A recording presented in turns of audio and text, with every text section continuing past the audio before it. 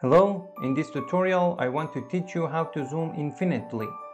It is very easy to make, so stay with me until the end of the video. To start, we need a vector design, which as usual we can download it for free from the FreePik website. I searched Cartoon Pig and downloaded this vector design. After download, import it into the Illustrator and delete the extra designs and the background and save it somewhere with Ctrl S. Then open the file storage location and drag this AI format file into the After Effects and drop it in the project window. Select composition and layer size and click OK. Double click on the composition. You can see that the file imported into the After Effects. It has one layer and no background and we have to create a background for it. First of all, enable the continuously rasterize option because I want to zoom in on the image so its quality will not decrease. Hit S and create a keyframe for scale. Suppose you want to zoom on this image in 3 seconds. I take CTI to second 3 and before zooming we must place the anchor point exactly where it's supposed to be zoomed. I want to zoom in in the middle of the pig's nose.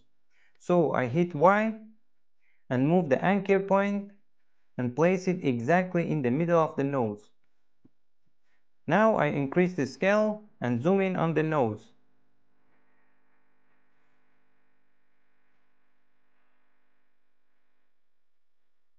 Play the animation once.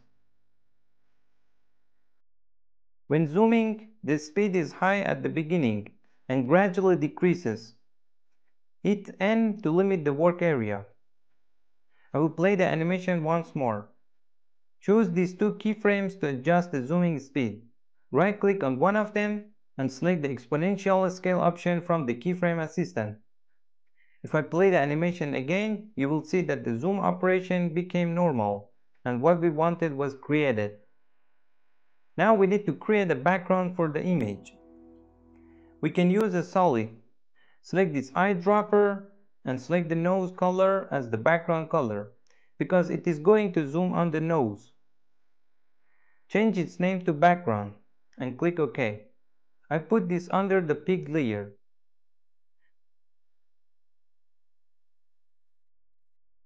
Now for the zoom operation, I will duplicate this layer. Press S and click on the stopwatch of the scale in the first frame to delete the keyframes. Move the CTI to the last frame. Zoom in on the timeline a bit to see the keyframes better. And in this way, I parent this layer to the bottom layer. If you pay attention to the scale number, you will see that the scale automatically changed to 2.8. If I play the animation from the beginning, you will see that we were able to make such a zoom.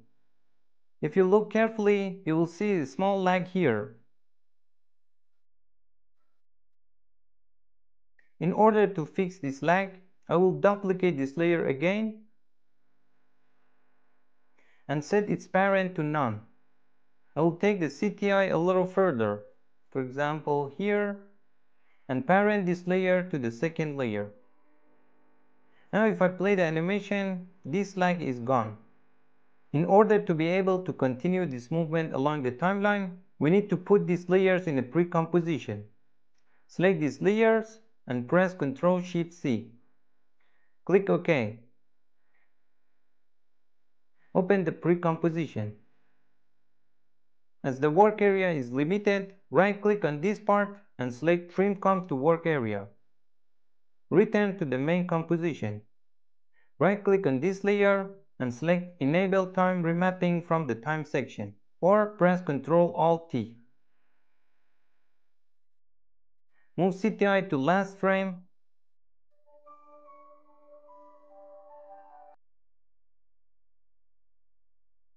Press Ctrl left to go back one frame and create a keyframe. And I delete the last keyframe. We must use an expression. Hold Alt and click on this stopwatch to open the expression section. And I type the loop out expression and select it. Press enter twice on the numpad. Now if I zoom out on the timeline and make this work area bigger and play the animation, you will see that we'll have this infinite zoom as far as the timeline goes. I hope you enjoyed watching this tutorial. If you like it, please subscribe to our channel and share it with your friends.